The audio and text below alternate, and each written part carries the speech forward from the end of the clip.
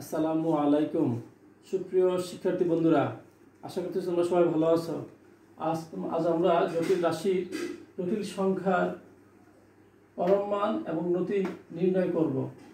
তোমরা গত ক্লাসে একটি জটিল রাশিকে কীভাবে চিত্রের সাহায্যে প্রকাশ করতে হয় সেটা তোমরা খেয়াল করে দেখেছ। আজ আমরা জটিল রাশিটির মডুলাস এবং আর্গুমেন্ট কীভাবে নির্ণয় করতে হয় তা শিখব। মডুলাস নির্ণয় তোমরা ইতিমধ্যে জেনেছ, একটা জটিল রাশিকে আমরা একটা বিন্দুর সাহায্যে প্রকাশ করতে পারি। যেখানে বাস্তব অংশটা এক্স অক্ষ বরাবর এবং কাল্পনিক অংশটা ওয়াই অক্ষ বরাবর থাকে। যদি আমরা এই চিত্রটা লক্ষ্য করি, তাহলে উ থেকে পি বিন্দু যে দূরত্বটা, সেটা আমরা যদি কাটতিস পিথাগোরাসের সূত্রে প্রয়োগ করি, সেখান থেকে আমরা পাবো R square to two square plus Y square. সেখান থেকে তোমরা আর মান পেয়ে যাবে। শিক্ষার্থী বন্ধুরা, এই আর এর মানটি হলো আমাদের মডুলাস এবং এই উপি লেখাটা এক্স অক্ষের অক্ষের সাথে যে কোণ করে সেটাই হলো থিটা আর থিটাটাই হলো আমাদের আর্গুমেন্ট এবং এখানে চিত্রের সাহায্যে তোমরা যদি ট্যান থিটা ইকুয়াল টু লেখো ট্যান থিটা ইকুয়াল টু লম্ব বাই ভূমি, তাহলে ওয়াই বাই এক্স সুতরাং theta equal to tan plus Y by X শিক্ষিত বন্ধুরা, আমরা বিভিন্ন কোয়াড্রেন্টে বিভিন্ন জটিল রাশিকে বসাবো। সেখান থেকে আমরা বিভিন্ন আর্গুমেন্টের মানগুলি পেয়ে যাব।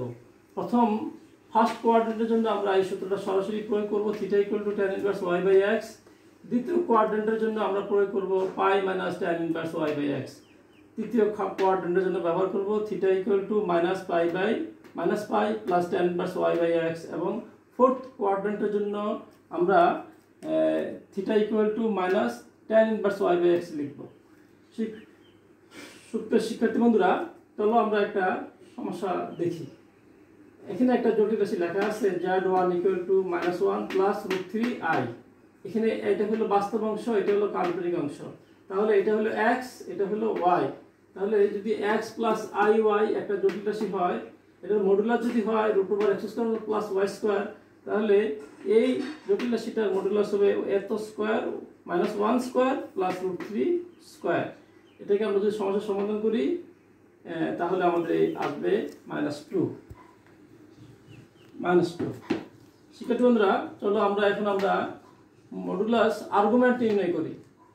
এই Z one equal to minus one plus root three I জটিল রাশিটার, যেহেতু এটা আমাদের সেকেন্ড কোয়ার্ডেন্টে অবস্থান করে, সেজন্য আমরা এই সূত্রটা প্রয়োগ করব। প্রথমত আমরা লিখে নিব theta equal to tan inverse Y by X যেখানে এক্স ইকুয়াল টু হইল মাইনাস ওয়ান আর ওয়াই ইকুয়াল টু হলো রুট থ্রি আমরা এটা লিখলাম, তারপর আমরা এই এই দুই নম্বর ছকের এই দ্বিতীয় সূত্রটা ব্যবহার করব। Theta equal to pi minus tan inverse y by x এটা এটার পরবর্তী লাইন হলো pi minus tan inverse y by x এই সবটার পরিবর্তে আমরা সবটার পরিবর্তে লিখব pi minus tan inverse y by x আর আমরা জানি ট্যান ইনভার্স রুট থ্রি আমরা জানি ট্যান সিক্সটি ডিগ্রি মান হলো ট্যান সিক্সটি ডিগ্রি মান root three tan tan sixty degree sixty degree equal to হলো রুট থ্রি সেক্ষেত্রে বন্ধুরা, তোমরা এই একশো আশিকে তিন দ্বারা ভাগ করলে সিক্সটি ডিগ্রি পেয়ে যাবে। তাহলে থিটা ইকুয়াল টু তাহলে আমাদের pi by three equal to tan inverse root three শিক্ষার্থী বন্ধুরা, আমরা এই অংশটার মান পেয়ে গেলাম পাই বাই থ্রি তাহলে pi minus pi by three লিখলে ক্যালকুলেশন করলে আসবে টু পাই বাই থ্রি অনুরূপভাবে আমরা আরও একটা জটিল রাশি নিয়েছি সেটা এক্স মান মাইনাস ওয়ান এবং ওয়ান মান মাইনাস থ্রি এটা আমাদের অবস্থান করবে এই কোয়ার্ড্রেন্টে থার্ড কোয়ার্ড্রেন্টে থার্ড কোয়ার্ড্রেন্টের জন্য আমরা যদি আর্গুমেন্ট ব্যবহার করি, তাহলে প্রথমে লিখব tan theta equal to tan inverse y by x পরে আমরা থার্ড কোয়ার্ড্রেন্টের জন্য এই সূত্রটা ব্যবহার করব। সেখান থেকে এই অংশটার মান আসবে পাই বাই থ্রি আর এসে করলে আসবে মাইনাস টু পাই থ্রি শিক্ষার্থী বন্ধুরা, আশা করতেছি তোমরা বিষয়টা ভালোভাবে বুঝতে পেরেছ। আমরা প্রথমত খেয়াল করব মডুলাস ইকুয়াল টু মডুলাস নির্ণয় করার জন্য এই সূত্রটা ব্যবহার করব।